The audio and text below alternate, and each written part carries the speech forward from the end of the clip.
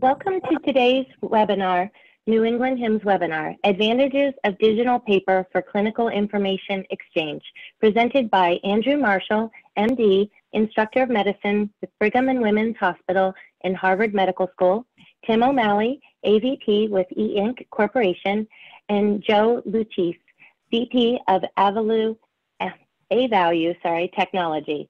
All lines have been muted upon entry today. Please send all questions via the Q&A feature and we will answer them at the end of the session. Please join me in welcoming Andrew, Tim, and Joe.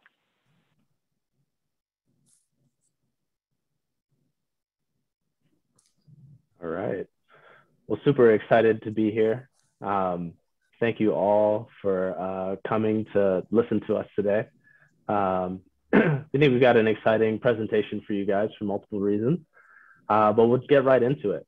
Um, you know, for those of you that have ever been to an emergency department uh, as a patient or as a family member, um, you kind of know this feeling. Um, I like to think of the emergency department as, as controlled chaos uh, as a provider. Um, there's always a lot of things going on. It's impossible to do everything that you're supposed to be doing uh, keep up with all the patients, keep everybody updated. Um, but on the other side of things, uh, it's a completely different experience filled with a lot of uncertainty. And last summer, I had a, you know, I experienced what it was like to be an ER patient in the era of COVID 19 firsthand. Um, as a provider, I had been working in the emergency department throughout the pandemic.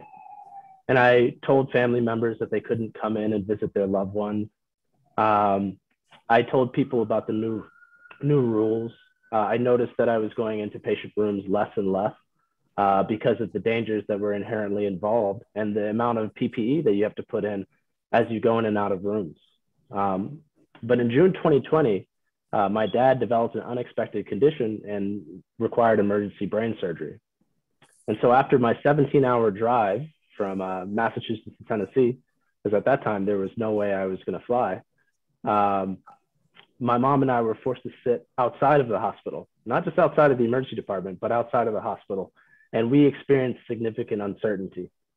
Um, there was a lot of anxiety involved. Now I'm coming from a place of incredible, incredible privilege.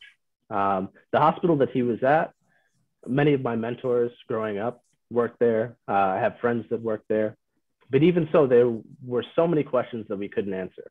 As I sat there outside on the cell phone with my dad, I was asking him who his ER doctor was, uh, who his neurosurgeon was, where he was going to end up. Was he going to end up in the ICU? Where was his bed? When would be able to come visit him? You know, what imaging was he going to get? What was the name of his nurse? Um, you know, what time did the shifts change? You know, who's this new team? Um, when are we going to find out the answers to any of this? And um, let me tell you, that uncertainty can drive a lot of anxiety. Um, and, you know, as I mentioned earlier, in the era of COVID 19, providing in person updates can be very challenging. Um, and people know, you know, if you're an educator, you know, people only retain about 30% of what they hear. So uh, there can be a lot of difficulty, um, kind of even when you're telling patients the right information to kind of get them to remember it, uh, much less names and uh, those kind of things. So we want to move to the next slide. Um, so a patient in the emergency department, you know, you experience significant uncertainty. You want regular updates. Um, you want to know what's going on to kind of alleviate that uh, uncertainty.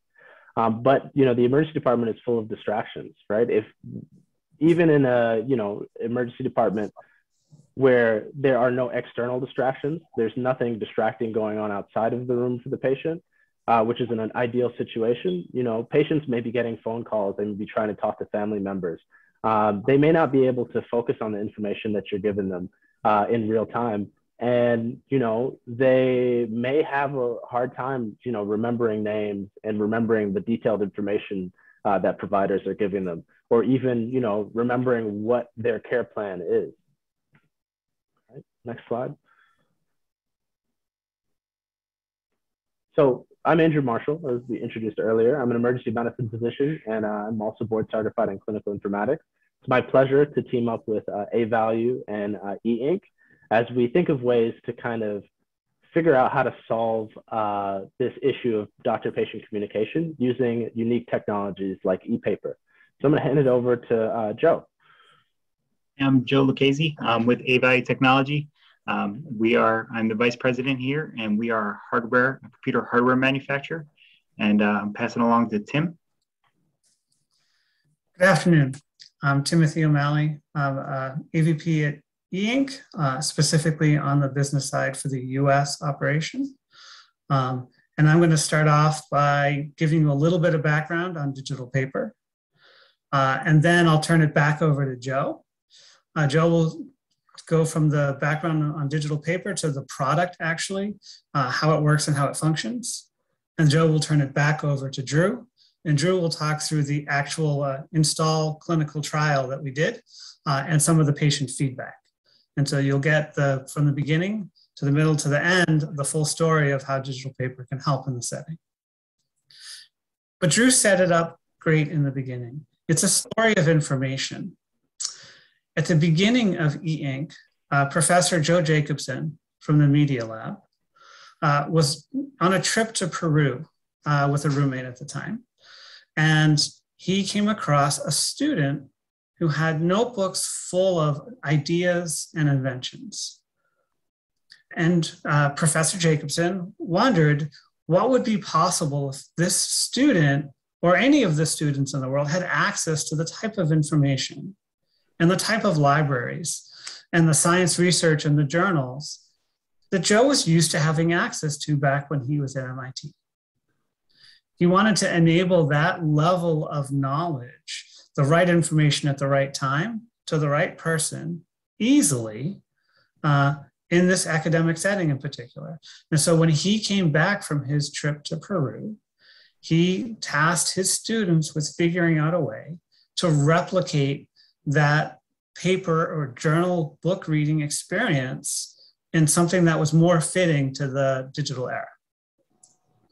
And this resulted in 1997, uh, e-ink spun out of the Media Lab and was founded with the goal of creating the last book or the last newspaper that you would ever buy. The book that sits on your desk, and no matter what you want to be reading, that's the content that the book can show you or the newspaper that every morning updates itself with that latest information you're looking for, whether it be the political news or the weather or the sports. Um, and so the students went off and they came up with this implementation of digital paper. Next slide. So what is digital paper? Well, we know what paper is. Paper is fundamentally, it's a white page and the white that's on that page comes from something called titanium dioxide. It's white pigment chips. That's the same as the white pigment chips in white paint or any other generally version of white that you're familiar with. It's the most common. And when you inkjet onto that white piece of paper, you're putting down black pigment chips, uh, usually an inorganic like a carbon or a metal. And so what digital paper is, it takes those same white pigment particles and those same black pigment particles, and it captures them together in a way that they can be moved up and down, like this diagram is showing. But when they stop moving, the secret sauce keeps them exactly where you put them. That means when you disconnect the power, the image stays. And in fact, if you were to walk around the halls of e-ink, uh, outside of uh, Cambridge up in the Billerica area, you would find that we have displays that have not been updated in over 10 years, and they still perfectly show that image, the same as if you had printed it on a piece of paper, but I could plug that sign in or that display in or that page in, and it would update again to whatever new information there is. So digital paper is a way to recreate that paper-like experience. So paper-like means it's very readable in the ambient light. Uh, you're sitting under a bright light, you're sitting off angle, you're looking at it from far away. In all cases, it has that incredible viewing capability that you're used to with paper. It also means it's extremely low power consumption. If you are not updating the image or the display, then no power at all is being used, which means it can be used in very low power settings and easily placed in places. Um, it's also very lightweight um, and has the ability to be flexible or shatterproof depending on the final implementation. So ultimately, these students went off and created and then ultimately brought forth a company that has created digital paper worldwide that has enabled that access to information in the paper-like book or reading experience uh, where and when it's needed. Uh, and that's the digital paper technology and story. What this initiative is to do is to bring that same technology into a setting where information is required in a different format.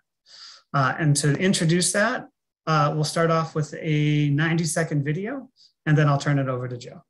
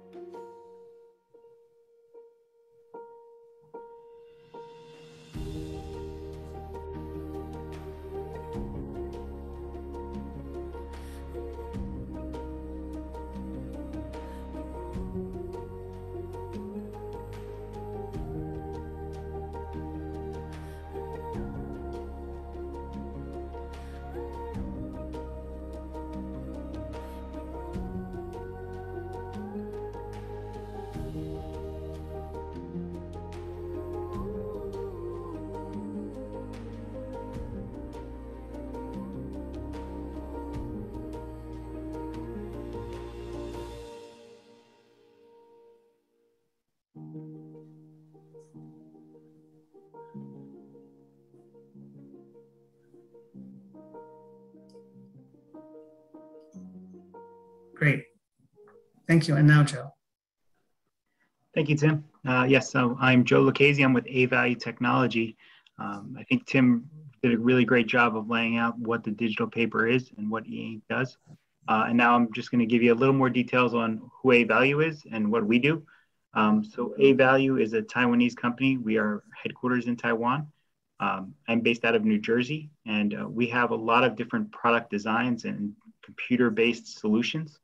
Uh, and a large part of our business is really geared towards uh, computer technology that lasts for years and years. Uh, so we try to do high reliable products that can always stay the same um, with really good revision control uh, and long product life. So for markets that really require the same product for the next several years uh, and to be able to buy as needed, uh, that's really our niche of where we provide product to. So I think uh, you'll see our products a lot, a lot of times are very well received in, in the medical market. Um, and when you look at it, you can see globally, uh, we have over 100,000 uh, products uh, in the healthcare market worldwide, um, including patient infotainment, uh, which basically replaces the TV in, in uh, computer room, in hospital rooms, computer on wheels, and then also medical equipment our products often use in. Um, so globally, you can really see that our product uh, ranges all over.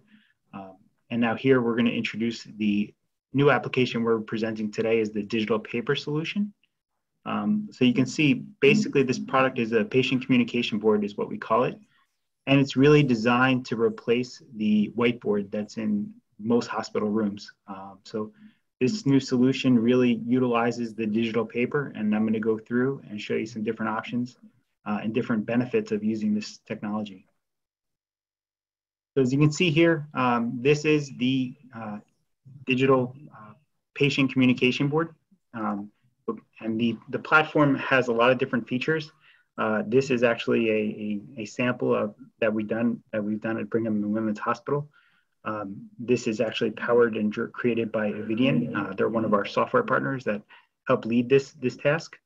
Um, but you can see there's a lot of different workflows you could use, uh, a lot of major benefits you could have simply by digitizing everything and actually pulling the data uh, real time through the EMR um, and pulling any data as far as the care team, um, you know, any safety protocols you want to implement.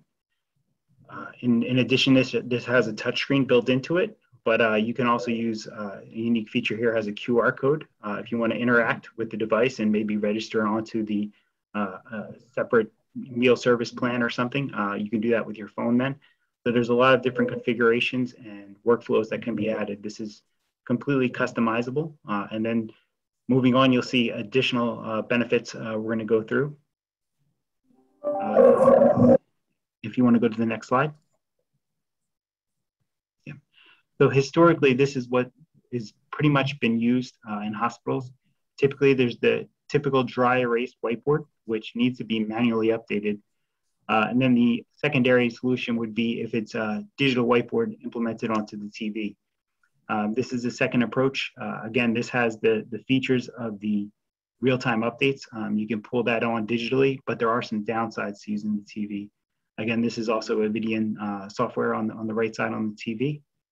But one of the big um, disadvantages of the TV application, and we kind of saw it on the last video, is uh, the, the TV needs to be turned off at night uh, or else it's going to distract to the patient. So by having the e-ink display, the digital display, that allows you to turn off the TV and your data is still there. Um, you can still actually see the whiteboard if needed when you turn on the light.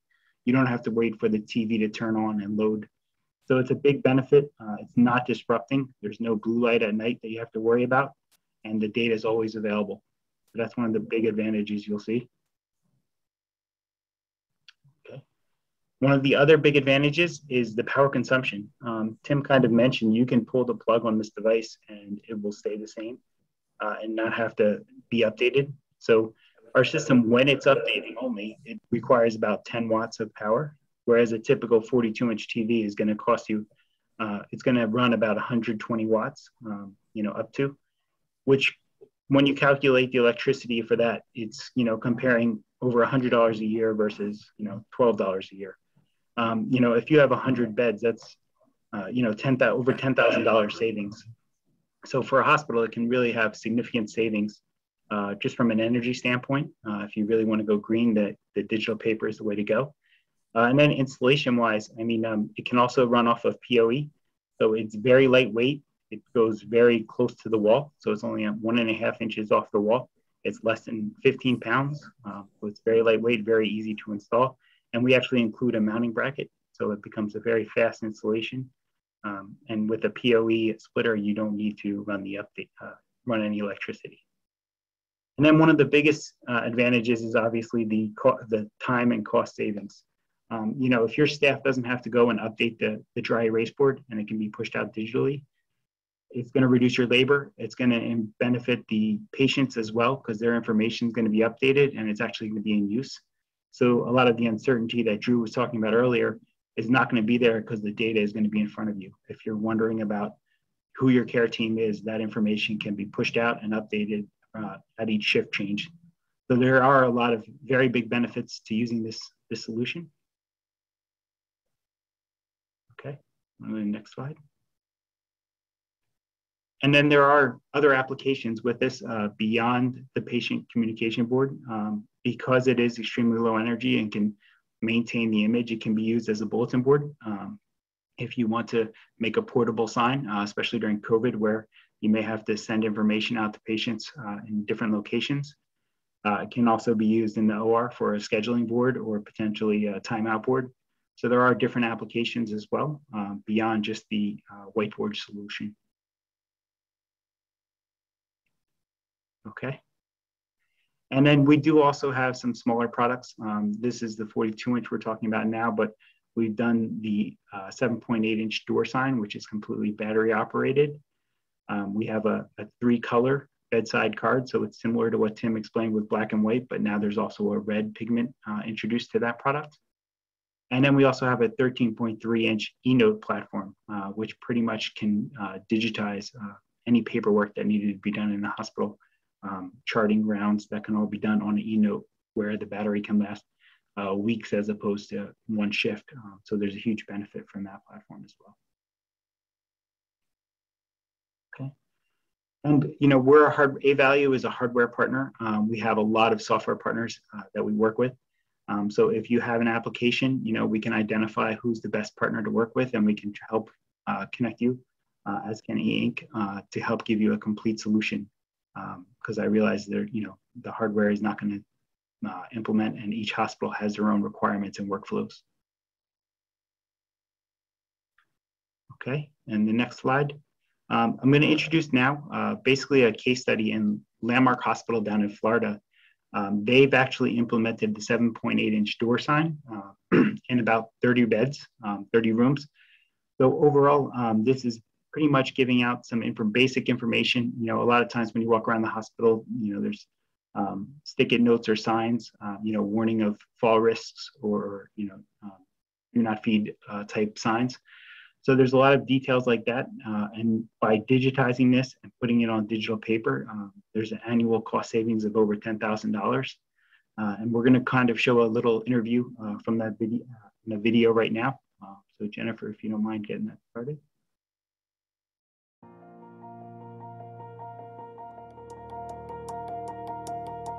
One of the big issues affecting hospitals today is medical errors that lead to adverse events and sometimes even death. With the e-ink displays, we're able to pull real-time information down from the EMR, which gives us the most up-to-date information, and also make sure that the data is accurate because it's coming directly from the patient's health record. The return on investment for the technology was pretty simple for us. We looked at the amount of labor it took and the amount of time our staff was using in order to communicate with patients effectively and we found that by utilizing the e-ink technology we're able to more effectively communicate and reduce our staffing time.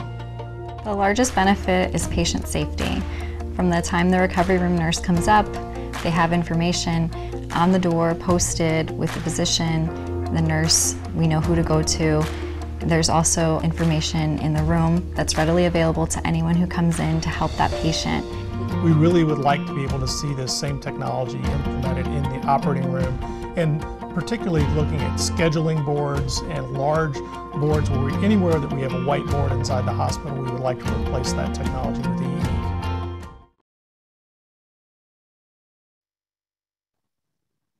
All right. Now I'm going to pass it over to Drew, who's going to take us through uh, the study that they've done.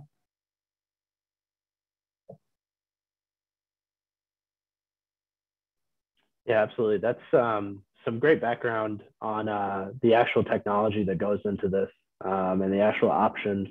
Um, and while there was a wide range of options, um, we decided that in this round, we were going to focus on patient engagement, um, kind of what we were talking about earlier. Um, and so why focus on patient engagement? Um, any of you that practices, uh, works in a healthcare setting, uh, you know how important patient engagement can be. Um, and so patients, you know, using electronic tools uh, to participate in their care, they're, they're more engaged, uh, they're more empowered. Um, you know, uh, when I say that they're more engaged and more empowered, they're more empowered to ask questions, they're more engaged in what's going on in their care, um, and when these things, you know, uh, when patients are more engaged and more empowered, uh, they get better health care. Um, and so, you know, the times are kind of shifting. Uh, I think there was a time when we thought that uh, if we just used um, digital like technologies, we would miss a significant portion of the population. Um, we have now been through a pandemic where we were forced to switch to telehealth. Um, and you know there were some struggles with that, but uh, there were like majority of patients were able to use their devices to connect with their doctors, and so patients are becoming more and more comfortable using technology to engage in their care. Um, and then when you're talking specifically about the emergency department, which is what I care about, um, and if any of you you know work in the emergency department, it might be what you care about as well. Um, like realistic estimations of ED wait times, um, you know, patients' perception of communication uh, and information delivery, uh, they improve patient satisfaction. Uh, for any of you that might be administrators out there, you know that patient satisfaction is really important in, in driving patients to go to a certain hospital um, because patients ultimately have a choice in which ED they visit. Um, and so, you know, having uh, any tools that kind of improve patient satisfaction uh, improve the perception of your emergency department ultimately um, can improve uh, you know patients desires to want to come to your emergency department and you know uh, that can be helpful for the bottom line um, so less last point that I want to make about patient engagement is one that I brought up earlier, which is that less face-to-face time uh, has been driven by the rise of EHRs, right? Uh, physicians spend a lot of times at their computers, nurses spend a lot of times charting. Um, and then COVID-19 has placed additional barriers, you know, it, it became to a point, uh, it was, it was kind of a burden, you know, to put on all that, you know, PPE and stuff like that to go in and out of the rooms, uh, to, to work with patients, especially when they could be sick. Um, and it was nice when you know digital solutions were implemented, whether they were iPads or you know, you know TVs or anything like that. Um, and I think ePaper uh, here is poised to uh, be a really good solution for this. Next slide. Um, so we talked about a little bit about um, why you want patients to be more engaged. Uh, well, it influences hospital choice. Um, it improves their health and well-being, as we talked about a little bit earlier um, and it drives more accurate information exchange. Um, you can imagine a situation where you are displaying information to a patient. Uh, the patient sees that information on the board and notices something is uh, incorrect um, or their name is spelled incorrectly and you've accidentally linked this patient with the wrong health record. And, and for those of you that work in the hospital, um, this happens a lot um, you know, patients can come in and, and you can create a new record and the records need to be merged later. It's better to find these things out early than it is to find them out later. Um, and so when I say accurate information exchange, it's not just giving information to patients, it's empowering patients to communicate back with the team and um, exchange information uh, to get a better, you know, to take better care of themselves. Next slide. And so um, the there's a lot of changing regulation. Um, I think everyone here probably attending HIMSS is familiar with uh, with the changes that have driven the rise of EHRs, um, recent changes in the hospital that prevent information blocking, uh, that you know kind of necessitate that we give information to our patients in real time. And many patients can access this through their patient gateways. Um, but patient gateways requires a certain amount of startup costs where patients have to be enrolled in the system. A lot of times they have to have uh, somebody explain how to, you know, join their patient gateway. They have to set up a username and password, which they have to remember. Um, and so to overcome information blocking at Brigham and Women's Hospital where I work, we actually just pretty much print out all of the patient's results when they're discharged from the ER and give it to them. Uh, the next best step is uh, some patients who, um, some patients, I apologize for the, for the city noise in the background, but um, you know, some patients who um, have access to patient gateways, they log in in real time and, and view their information and they ask me questions about their visit. Well, what does this, you know, uh, white blood cell count mean? What does this hemoglobin mean?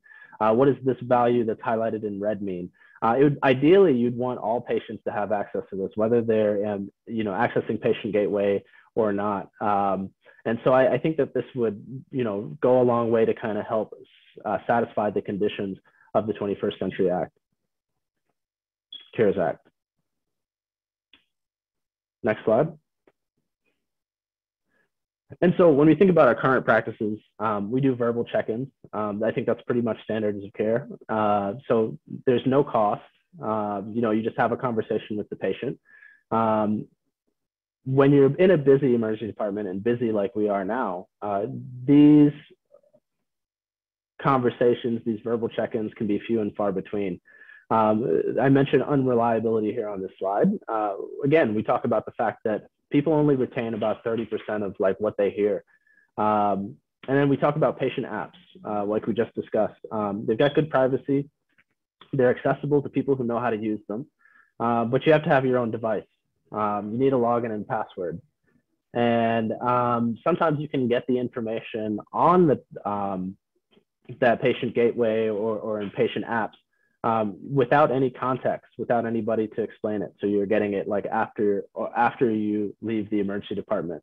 Um, and so with traditional dry erase boards, as we've discussed earlier, they're low cost. Um, they can be durable, uh, but they're rarely accurately used. Um, so again, if anybody has familiar with work is familiar with working on the floor or in the emergency department, uh, you know that to have someone you go and manually update these whiteboards every time a patient moves in and out of the room, uh, at every shift change to update the names of the doctors, the nurses, um, almost never happens. And as much as people have tried to incentivize the use of these traditional whiteboards, which are a really great idea, um, they almost are never used as effectively as we would like them to be. And so oftentimes patients will see updated, uh, outdated information, uh, information from yesterday. Um, they may, you know, see a nurse's name from, you know, from the previous shift and it can be even more confusing when the information is, is out of date. Move on to the next slide.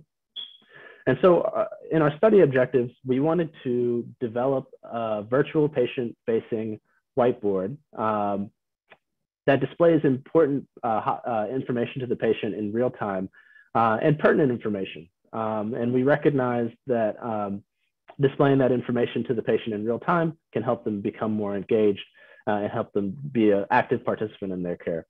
And then we wanted to see uh, in this initial study what the effect of the virtual whiteboard would be on the patient. Um, so all this has kind of been around patient engagement. We can talk a little bit more later about um, how providers might use a virtual whiteboard. But we wanted to see if patients were one more engaged, if they were, if they saw value in the things that they were seeing on the screen, and if it changed their emergency department satisfaction. Um, so we used a pretty uh, simple method. We used pre and post surveys. Uh, we decided that we were going to enroll 100, 100 participants.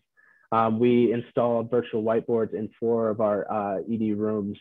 Um, of course, those 100 participants were split into a uh, two cohorts. One was a control cohort where they did not have a virtual whiteboard, and one was a virtual uh, whiteboard cohort. Um, and those were patients enrolled in those uh, four rooms. Um, so in essence, uh, any patient that was roomed in the emergency department, uh, the RAs would screen to see if they were eligible. This screening excluded um, patients that did not uh, you know, speak English as their primary language because we haven't rolled out um, uh, uh, any kind of support for additional languages at this time. Um, we went ahead and um, screened out patients that were primarily a psych complaint. We screened out patients that were too critically ill to participate. Um, and we screened all these patients for technological literacy. Um, we also, you know, went to the uh, to the to the clinicians taking care of the patients to make sure that um, there were no objections to patients participating in this study. Um, and so we did a baseline kind of technologically, uh, technological survey, uh, and then we assessed their satisfaction in both groups with their ED stay afterwards.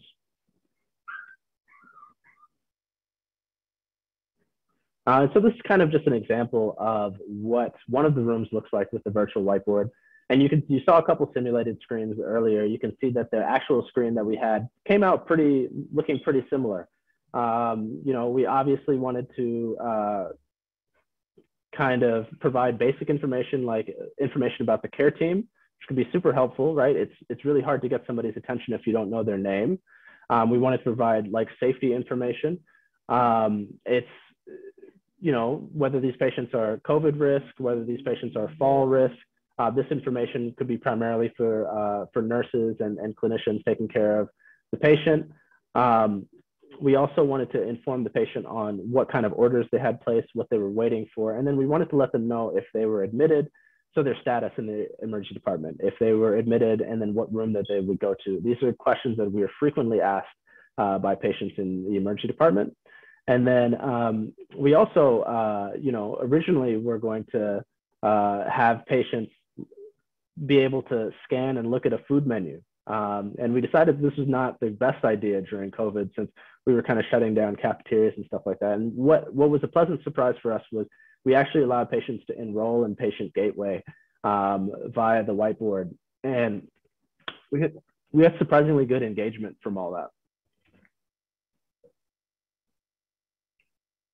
And so of our 100 participants, uh, we had a mean age of uh, 51.5, which is probably around the mean age of our emergency department visitors, um, mostly uh, female, uh, but we had a good demographic break breakdown. Um, well represented uh, African Americans. We we had about 10% uh, Hispanic population, despite excluding people who didn't primarily speak Spanish.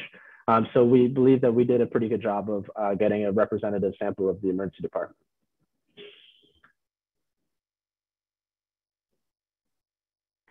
Uh, and so if we look at the data elements that patients found important, um, you know, I think before we did this study, I think if you had to take a guess, um, I think that uh, you would think that the ED attending name would be really important um, to most patients, uh, as well as the other people on the care team. Um, and you can see that, um, you know, names of ED attendings report, names of residents, uh, PAs, and, and, then the nurses' names uh, came up as the things that were most important to the patient. Uh, notably, um, we had weather on there. Uh, patients really didn't care too much, uh, it seems. You know, they had a generally positive view of, of having the weather, but they didn't, you know, think it had any impact on their emergency department uh, stay. Um, and so, you know, these are things that we, we sent out in our initial study and, uh, and things that we, you know, we formed a focus group. We talked to nursing leadership, we talked to um, ER leadership, administrators, and we talked to patients to figure out what they thought would be important. And uh, as we move through, if we do any future work on this, we may, you know, try to change these things up to better communicate what our patients are looking for uh, to help them get engaged in their stay.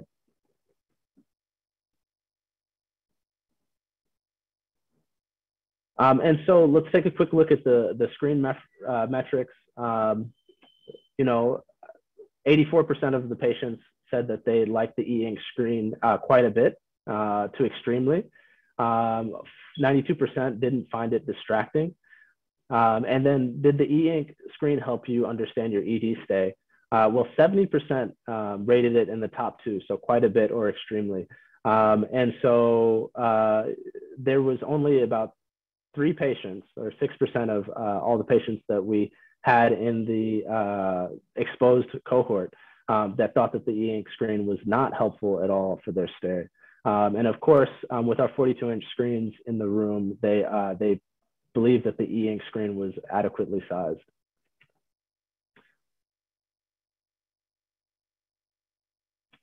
And so when we break it down a little bit further, um, did you like a, the virtual whiteboard? We can see that it was, it was heavily liked.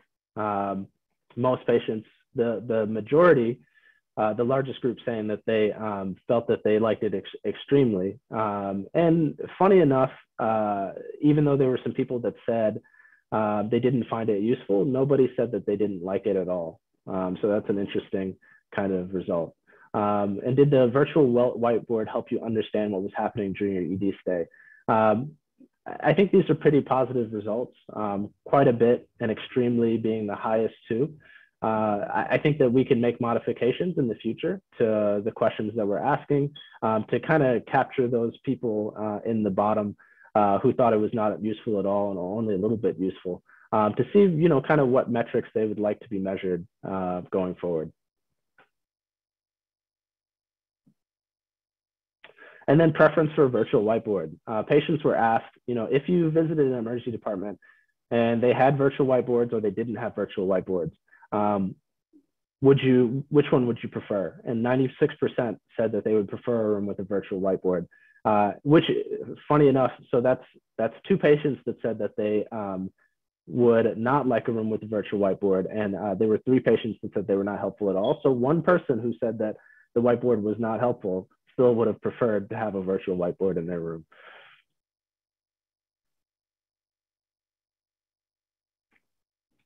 And so um, want to look through some of the statistically significant findings. Um, and, and those of you that you know do research, you know that with 50 patients, uh, we probably didn't have an adequately powered um,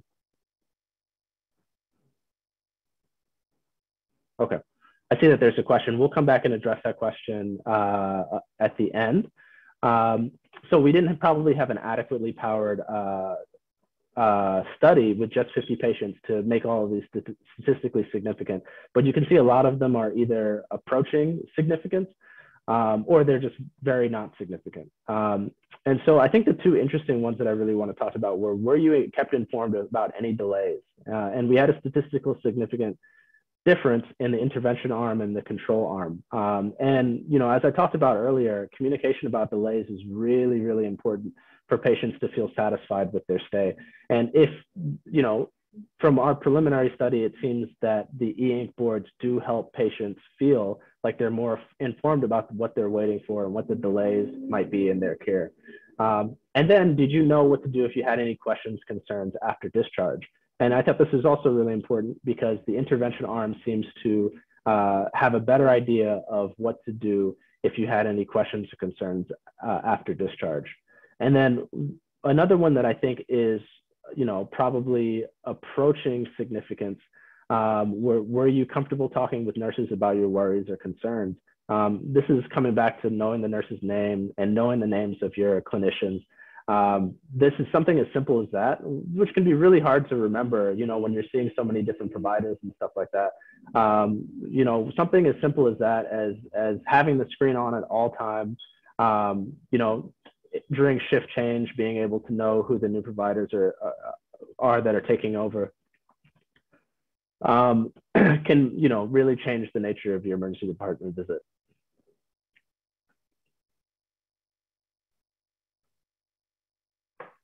Next slide, please. And so for future directions, obviously communication is a two-way street. We want to have information on these whiteboards that um, work well for the clinical care team as well as the patients. As, as we move forward, we're thinking more about how we can use these whiteboards to decrease emergency department interruptions um, those of you that work in clinical care know that interruptions can drive errors. Um, they can be a frustrating part of clinical care. Um, and we also would like to more seamlessly integrate into the emergency department, uh, EHR. And so um, our current build used a third-party software, which we hosted on a secure Brigham so uh, server.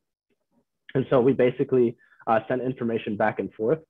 But we would like to explore the use of native Epic apps um, other native like hospital apps on e-ink uh, screens with the Avalue technology to see if we can um, just provide an overall better integration and see if this is scalable hospital-wide. I'm going to pass it back over to, um, to Tim.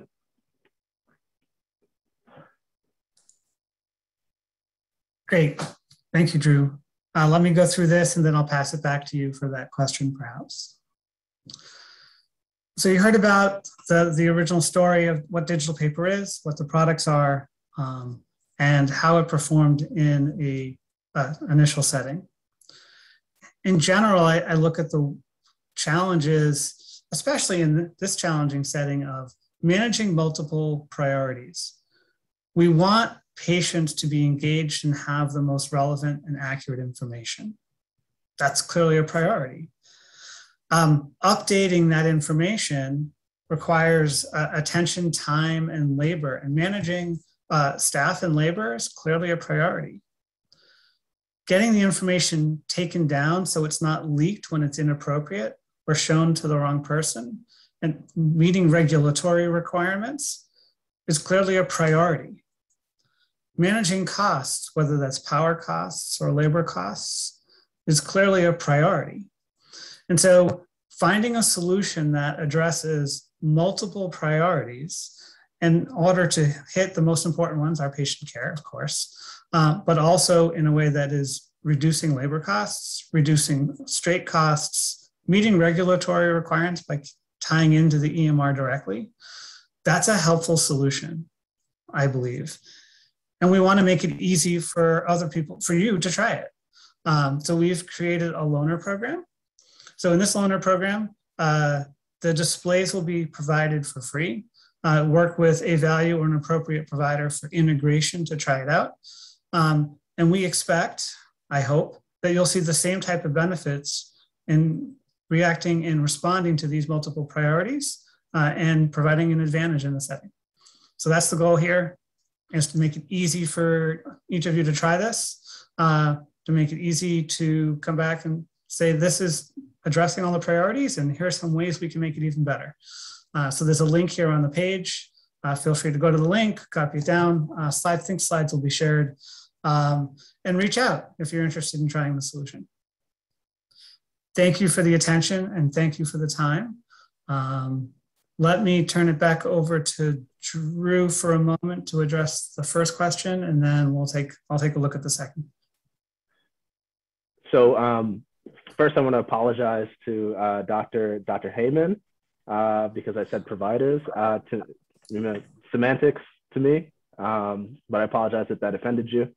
Um, so I want to address the questions in the in the in the chat. Um, so John asked if uh, the standard deviation being two or three is a huge variation uh, with the errors. And, and John, uh, I think, you know, we have a limited sample size. We only did 50 patients. Um, and I think that, yes, I think this is kind of a large er error. Um, but I think, you know, as we looked at with the slide with um, the statistical significances, uh, I, I think that the more patients that we get, uh, the more chance that we have of kind of rejecting that uh, that error and, and getting the true um, the true standard deviations uh, and uh, you know kind of making those error bars a little bit smaller. Um, and then the next question: uh, Does digital paper is it currently tested with Epic system only? And then another I think question. you could pass about, that one over to Joe if you want. I think yeah, Joe then, sure. Another question about Meditech. Go ahead, Joe. Oh yes, uh, yes. Um, so basically, um, the system itself is actually running an Android operating system, so it can be linked to um, you know pretty much uh, any system. It's just a matter of working on the the development. Um, so there is a little bit of software development involved, um, but I think at this time I don't have a full list, but I, I believe we worked with quite a few now. And I think that also to the other question about working with all the EHRs. Um, there's a there's a, a list of integration software support in order to make those connections.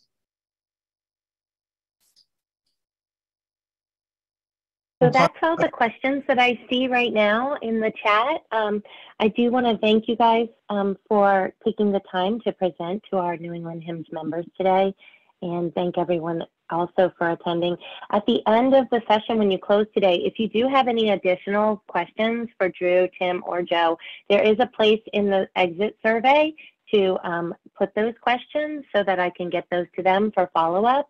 And um, and I just also want to remind everyone that the, the CP credit, along with the handouts of today's slides, will come via email tomorrow as a follow-up to today's session. So um, our next session is scheduled for September 14th. It's titled AI, ML, NLP, What Does This Alphabet Soup Mean to Healthcare? And that's going to be presented by Joe Grinstead from the VP of Technology at, and Cloud at Healthcare Triangle. So I want to thank Drew, Tim, and Joe again today for taking the time to present to us. And um, everybody have a great end of summer. It's already fall right at the edge.